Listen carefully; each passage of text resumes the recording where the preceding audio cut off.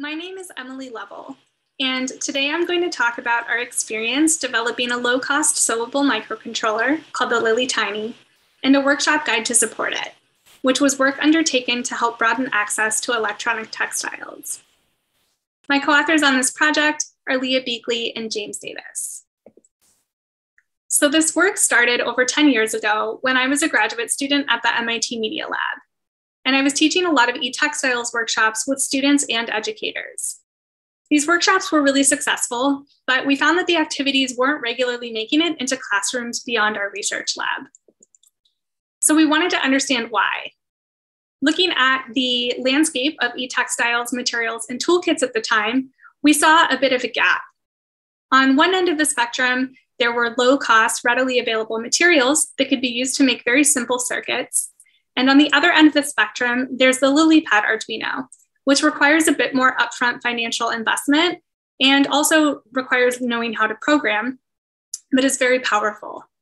So we wanted to think about how to bridge this gap between these two types of activities. Secondly, we saw a gap in instructional resources.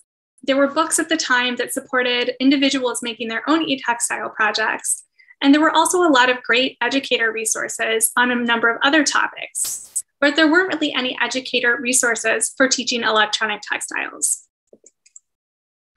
We were also inspired by and built on a lot of other related work, in particular that which established the value of teaching with electronic textiles. So we set out to address these gaps that I've just mentioned. In particular, first, we wanted to design a small sewable low cost microcontroller that was pre programmed. So we used the open source LilyPad Arduino accelerometer board layout, and we modified it to break out the pins on the ATtiny85 microcontroller. We then wrote a program that makes each pin control a different LED behavior. So this would allow the introduction of computation without having to program just yet. This slide shows our prototypes that led up to commercial release of a product, the Lily Tiny, with SparkFun Electronics. Secondly, in thinking about bridging this uh, teaching resource gap, we designed a new workshop guide. So this contains a set of activities, each including instructions, handouts, materials lists, and we published all of this online for free.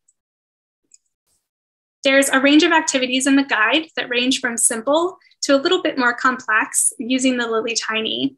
And this also includes a bonus activity that we developed with Natalie Freed and Jie Qi, which is the plush monster on this slide, which uses the Lily Tiny, in this case, to have a little LED heart that beats in a heartbeat pattern. In order to test and get feedback on these resources, we piloted them with middle schoolers at an outreach center on our campus. First, I taught a workshop using early versions of the Lily Tiny and workshop guide.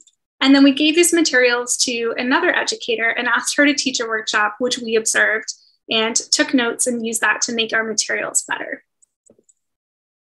Here you can see students from those workshops with their projects, which were light up patches that use the Lily Tiny to control LEDs. So we released the workshop guide on the internet for free. And we had a product out with SparkFun, but we never really promoted the project much or followed up on it until the summer of 2020 when we wondered what had been happening all this time. So we set out to then understand the impact of the Lily Tiny in the 10 years since its release. So the Lily Tiny now sits in this gap between simple and complex, low cost and a bit higher cost materials and we wanted to see what else had emerged in that 10 year period.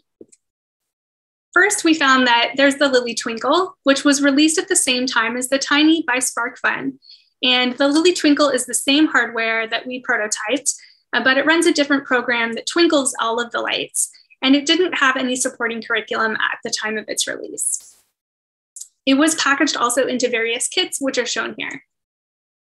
And secondly, we found many examples of other derivative boards that we had nothing to do with, some of which use the Lily Tiny name and or purple solder mask despite the lack of affiliation. So everything pictured here came after our board, the Lily Tiny, and we think point to our being successful in this middle space. So we also did some sales data analysis, which was made possible because SparkFun is the sole manufacturer and distributor of the Lily Tiny.